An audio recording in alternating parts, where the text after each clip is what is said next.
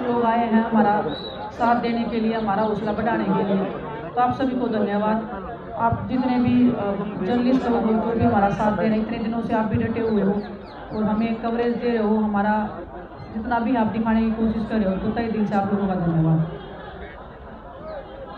अभी कई दिन से भूषण एक बात बोल रहा है कि बारह साल से ये चुप क्यों थे बारह साल तक ये चुप क्यों थे बारह साल पहले बोले क्यों नहीं? इतने दिन तक वेट क्यों किया? तो मैं इसी चीज़ का एक जवाब देना चाहती हूँ। 2012 में जूनियर का कैंप लगा था लखनऊ। वहाँ पे एक शिकायत दर्ज हुई थी पुलिस स्टेशन में सेक्सुअल हरासमेंट के खिलाफ में। 24 घंटे के अंदर ही उस एफआईआर को भी उठवा लिया गया और उस मामले को वहीं पर रफा दफ़ा करवा दिया गया था।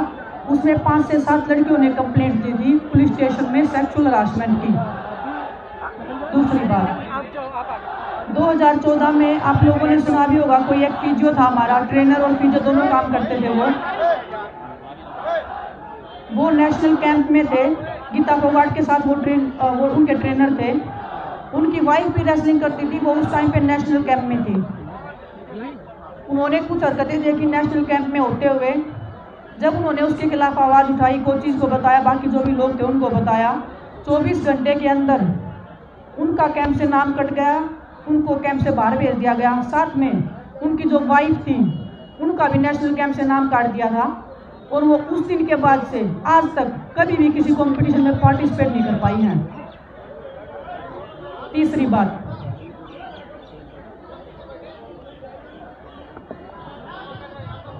अभी जब हम जंतर मंतर पे बैठे थे, उससे पहले सरकार के एक अधिकारी से हम मिले थे। जंतर मंतर पे बैठने से तीन चार महीने पहले की बात है। हमने उनको हर एक बात बताई थी कि कैसे लड़कियों के साथ में सेक्सुअल हरासमेंट हो रहा है, कैसे लड़कियों को दुखी किया जा रहा है मेंटली टॉर्चर किया जा रहा है, हर लेवल पे लड़की मतलब खिलाड़ियों को इतना परेशान किया जा रहा है कि खिलाड़ी कुछ भी करने को रेडी है अपनी लाइफ के साथ में। जब हमने तीन चार महीने वेट कर लिया, उसके बाद कुछ भी नहीं हुआ। फिर हम जंतर मंतर पे आए। जब हम गवर्नमेंट से बात करने के लिए, खेल मंत्री जी से बात करने के लिए गए लास्ट दिन, जब हमने, जब जब हमने धरना ख़त्म किया था सभी खिलाड़ी अंदर गए थे। खेल मंत्री जी के सामने सारी बातें बताई थी। सभी लड़कियों ने सेक्सुअल हरासमेंट के ऊपर बातें बताई थी। अपने अपने इंसिडेंट शेयर किए थे। सभी लड़कियाँ रो रही थी उनके सामने ही। लेकिन कोई भी एक्शन नहीं लिया गया था उस टाइम पे भी। खेल मंत्री जी ने कमेटी बना के उस मामले को फिर से रफा दफ़ा करने की कोशिश की। तो आप देख लीजिए, हमने हर लेवल पे हमने आवाज़ उठाने की कोशिश की, लेकिन जिसने भी कोशिश की, उस मामले को वहीं पे दबा दिया गया। तो जो वो बोल रहा है कि बारह साल से चुप थे तो आप देख लीजिए बारह साल से हम चुप क्यों थे? हमें रेसलिंग करना था, हमारी लाइफ हमारा कैरियर सब कुछ हमारा दाव पे लगा होता है। इसलिए हम, हमारे अंदर इतनी हिम्मत नहीं हो पाई कभी भी। आज हम उस मुकाम पे पहुँच गए कि हाँ अभी तो इससे आगे तो मौत है। तब हमें हिम्मत आई, तब हम लोग साथ में कि एक, क्योंकि जब भी किसी एक ने आवाज़ उठाई, तभी उसकी आवाज़ को दबा दिया गया। इसलिए सब लोग इकट्ठा के आप देख लीजिए, हम इतने लोग इकट्ठा हैं, फिर भी एफ़ आई आर नहीं हो रही है जल्दी से, उसके ऊपर कार्रवाई नहीं हो रही है तो बहुत मुश्किल है ऐसे इंसान के खिलाफ खड़ा होना जो इतने सालों से अपनी पावर का, अपनी पोजीशन का गलत इस्तेमाल कर रहा है। एक बार हम बता देते हैं जी, उसके बाद में आप क्वेश्चन कर लेना सब लोग। हमेशा अभी काफ़ी टाइम से यही क्वेश्चन उठ रहा है कि हम नेशनल्स नहीं खेलना चाहते या हम कोई टूर्नामेंट नहीं खेलना चाहते, हम सीधा ओलंपिक्स में जाना चाहते हैं, इसीलिए हम ये प्रोटेस्ट पे बैठे हैं। दो हज़ार सोलह में मैं ट्रायल्स लेके गई थी इंडिया में और मैं फ़र्स्ट आई थी। तो ये रूल होता है, जो इंडिया में फ़र्स्ट आता है, वही क्वालिफिकेशन करने के लिए जाता है टूर्नामेंट में। टर्की में हमारा कैंप लगा हुआ था क्वालिफिकेशन टूर्नामेंट के चार दिन बाकी थे। चार दिन पहले मेरी ट्रायल एक इंडियन लड़की के साथ की गई। जबकि मैं इंडिया में फ़र्स्ट आगे गई थी सिर्फ़ मेरी ली गई। ये क्वेश्चन पूछना आप प्लीज़ उनसे कि सिर्फ़ मेरी टर्की में ट्रायल लेने का क्या मतलब? बाहर कभी इंडिया से बाहर जाके कभी इंडियन इंडियंस की ट्रायल्स नहीं होती? और किसी वेट में ट्रायल्स नहीं ली गई सिर्फ़ मेरी ट्रायल्स ली गई। ऐसे ही अभी 2012 बाईस में। बाईस में सॉरी एक लड़की की ट्रायल हुई और वो ट्रेन में थी, वो जीत चुकी थी अपनी ट्रायल उसको ट्रेन में से वापस बुलाया कि कल फिर दोबारा ट्रायल होगी आपकी। उस लड़की ने विदेश के पास कॉल किया कि दीदी, ऐसे ऐसे हो रहा है, मेरी ट्रायल दोबारा क्यों ली जा रही है? अभी तो ट्रायल खत्म हुई है, मैं वापस घर जा रही हूँ। तो आप देख लो कि कौन अन्याय कर रहा है, कौन बार बार बिना काम की ट्रायल्स ले रहा है, कुछ भी कर रहा है मतलब। और एलिगेशन हम पे लगा रहा है कि हम टूर्नामेंट नहीं खेल खेलना चाहते। और दोबारा जब उस लड़की ने ट्रायल दी उस लड़की को हरवाया गया। पहली ट्रायल में वो जीत रही थी वो लड़की क्योंकि 24 घंटे में उसको दोबारा वेट कर दिया है। वो लड़की उस दिन ट्रायल वाले दिन भी वज़न भी दोबारा लिया गया उस लड़कियों का उल्टी हो रही थी। अब मैं खुद देख रही थी ट्रायल्स में वो लड़की बार बार हर मैच के बाद में उल्टियाँ कर रही थी बेचारी। ट्रेन में रोते हुए उसने मेरे को फ़ोन किया था कि दीदी ऐसे ऐसे हो रहा है तो मैं भी लाचार थी मैं बोली बेटा अभी या तो तू फिर इसको ट्रायल को छोड़ दे या तेरे को खेलना पड़ेगा क्योंकि इन लोगों के सामने ना तो मेरी औकात है ना तेरी औकात है कुछ भी बोलने की। वो लड़की दोबारा ट्रेन में, जैसे ही रास्ते में उतरी है, वो उसने ट्रेन पकड़ा है, वो गई है, उसको फिर से हरवाया गया। ये कौन सा रूल है? किसी भी इंटरनेशनल कॉम्पिटिशन हमारे साथ भी चीटिंग होता है, हमारे साथ भी कभी कभी मैच के ऊपर गलत डिसीज़न हो जाते हैं। लेकिन कभी अगर किसी विनर को घोषित कर दिया, उसके बाद में किसी भी इंटरनेशनल नेशनल कंपटीशन कोई भी हो हिस्ट्री उठा के देख लीजिए, कभी भी सेकंड टाइम उस बाउट को नहीं करवाया जाता, चाहे वो ओलंपिक गोल्ड मेडल की बाउट ही क्यों ना हो। अगर बाउट की बात है तो 2019 की बाउट आप निकाल लीजिए। मेरी वर्ल्ड चैंपियनशिप की सेमीफाइनल बाउट थी और ब्रजभूषण भी वहीं पे बैठे थे। और उस बाउट में पूरी मतलब चिटिंग हुई है। उसके बावजूद ब्रजभूषण ने मेरे कोच को धमकाया कि आपने ऑब्जेक्शन क्यों किया? मैंने उनको बोला कि भाई, मेरा कोच सही है। आप एक बार यू डब्ल्यू से भी अपील करिए कि भाई, आपने हमारे खिलाड़ियों के साथ चीटिंग की है।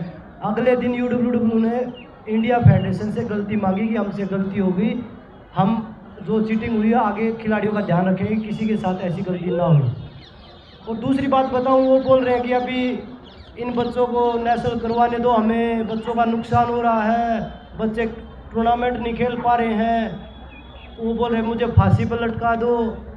तो मैं आपको बताना चाहता हूँ, एक, उन्होंने अभी दो तीन साल से एक टूर्नामेंट चालू किया है open ranking series open ranking series का उन्होंने एक बच्चे के साथ एक हज़ार पच्चीस रुपये उसका चार्ज है।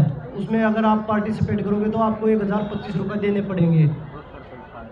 और उसके बावजूद बच्चा खुद ट्रेन की टिकट करवाता है या वो फ़्लाइट में जाता है, खुद होटल का करता है, खुद खाने का करता है।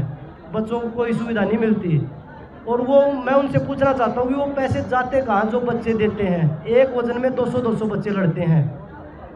तो 30 वज़न है हमारे 10 लड़कियों के 10 ग्रीको रोमन के और 10 फ्री स्टाइल के तो वो पैसे जाते कहाँ से? बच्चे खुद ही रहते हैं। अपने होटल बुक खुद कराते हैं वो। खाते भी खुद हैं वो।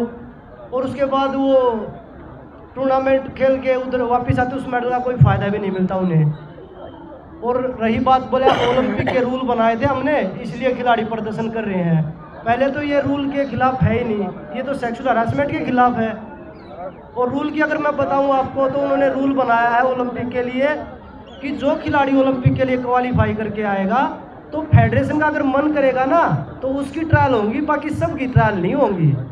तो ये तो उनके मन मर्ज़ी के रूल हो गए ना, ये फेडरे एक क्लियर रूल कहाँ हुआ है कि भाई सभी की ट्रायल होगी। अगर पाँच खिलाड़ी क्वालिफाई करके आते हैं तो पाँचों की ट्रायल होगी। उन्होंने तो ये बोल दिया कि जिस फेडरेशन का मन करेगा ना, कि भाई बजरंग की ट्रायल नहीं होनी चाहिए, बाकी चारों की ट्रायल होनी चाहिए तो चार की ट्रायल होगी, बजरंग की ट्रायल नहीं होगी। ये उनके न्याय के रूल हैं। जो वो सवाल कर रहे हैं। और ये उनकी वेबसाइट पे अवेलेबल है आज भी। अगर आप चेक करना चाहो तो आप निकाल लीजिएगा। हमारे पास भी अगर आप मांगोगे तो हम दे देंगे। ये उन्होंने बाकायदा वेबसाइट पे डाला हुआ है कि ऐसे रूल है। आप एक बार तेरे आई वाला बोल दे आई वाला बोल दे जैसे ये भी अभी जैसे उनकी आईटी सेलेक्टिव हुई हुई है और हमें सोशल मीडिया पे गलत कमेंट्स या जो भी है बदनाम करने की कोशिश कर रहे हैं। और खुद भी बोल रहे हैं कि हम मिलने जाते थे मिलने जाते थे। तो सबसे पहले बता दूँ कि आईओए का एक इलेक्शन का कुछ था। मुझे और सत्यव्रत को वहाँ बुलाया गया था कुछ वोटिंग का सिस्टम था। तो वो कोई भी काम से बुलाते थे तो हम जाते थे। और वहाँ जो पिक्चर खिंच जाती थी वो ठीक है कि हम मिलने गए थे। और विनेश का भी सवाल उठा रहे विनेश को मतलब अब से लेके दो साल हो गए ब्रिजभूषण से मिले हुए। वो या तो ट्रायल्स के टाइम पे मिलती है जो वो आते हैं नेशनल्स के टाइम पे इंटरनेशनल कंपटीशन में लेकिन ऐसे पर्सनली विनेश को दो साल हो गए वहाँ गए हुए। फेडरेशन गए हुए। और ये सारे उनके क्वेश्चन का आंसर है जो वो कुछ भी बोल रहे हैं हमें हमारा मुद्दा भटकाने के लिए और हमें गलत साबित करने के लिए। वो बोल रहे हैं ना कि 10-15 दिन पहले ही मिले थे। विनेश अपने हस्बैंड के साथ आई थी बजरंग अकेले लाया था। बजरंग मिला था उनसे लास्ट टाइम सीनियर नेशनल हुआ था। संगीता की मैच थी तभी नेशनल में ही उनसे मिला था। और मैं तो दो साल से उनसे मिली ही नहीं हूँ। अगर किसी कंपटीशन में आ गए तो आगे वो बोल रहे हैं कि रेसलिंग फेडरेशन में आए थे। मैं दो साल हो गए रेसलिंग फेडरेशन में ब्रजभूषण से मिली ही नहीं हूँ। दो साल तो मैं मिनिमम बता रही हूँ, मेरे को तो लास्ट टाइम याद आ रहा है दो हज़ार अठारह। दो हज़ार अठारह में जब मेरी शादी हुई थी, तब उन्होंने बुलाया था खुद कि आप आए हो, मेरे को कुछ पेपर साइन करवाने थे। तब उन्होंने बुलाया था, तब हम उनसे मिले थे। अदरवाइज़ मेरे हस्बैंड तो पहले और लास्ट टाइम तभी उनसे मिले थे। बेटा मैं बोल सकता हूँ? अंकल एक मिनट जाइए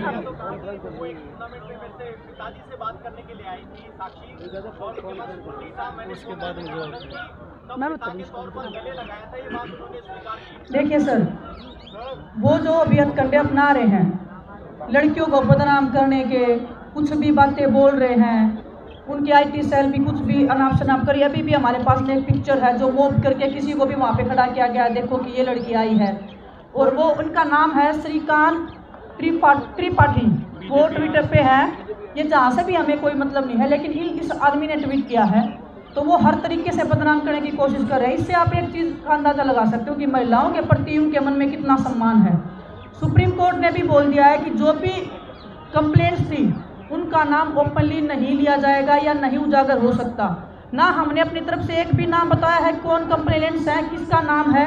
वो बंदा किसी भी लड़की का नाम लेके कुछ भी बोल रहा है तो उसके उससे उसकी मानसिकता दिख रही है कि महिलाओं के प्रति उसके मन में कितना आदर और कितना सम्मान है उसकी छोटी सोच उस दिखाई दे रही है सबको। आप लोगों के और क्वेश्चन हो तो बता दो नहीं तो हम खत्म करें। जी हाँ जी हाँ एक और बात बिल्कुल बिल्कुल बिल्कुल। जी बिल्कुल इस चीज़ का भी जवाब। अभी हम दिल्ली पुलिस का हम बार बार कर रहे हैं कि हमें विश्वास नहीं है। छः दिन बाद कंप्लेंट दिल्ली पुलिस ने की थी। अभी भी दिल्ली पुलिस लड़कियों के बयान दर्ज नहीं करी है। हर वो तरीके अपना रही है बहाने करी है, कभी किसी को बीमार करी है।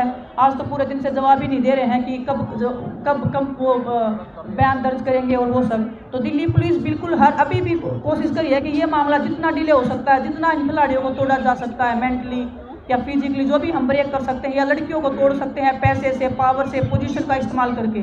तो वो हर इतना टाइम उसको दे रही है कि वो अपना बचाव कर सके या हम पे दबाव बना सके किसी भी खिलाड़ी पे दबाव बना के पीछे हटा सके। तो दिल्ली पुलिस का वही है कि वो अपना काम नहीं कर रही है अभी भी। अभी भी हम सुप्रीम कोर्ट के ही आसरे हैं कि सुप्रीम कोर्ट शायद हमारे हमें इंसाफ दिलाए शायद हम जिस चीज़ की लड़ाई लड़ रहे हैं जिस मान सम्मान की लड़ाई लड़ रहे हैं वो हमें मिले। तो हाँ?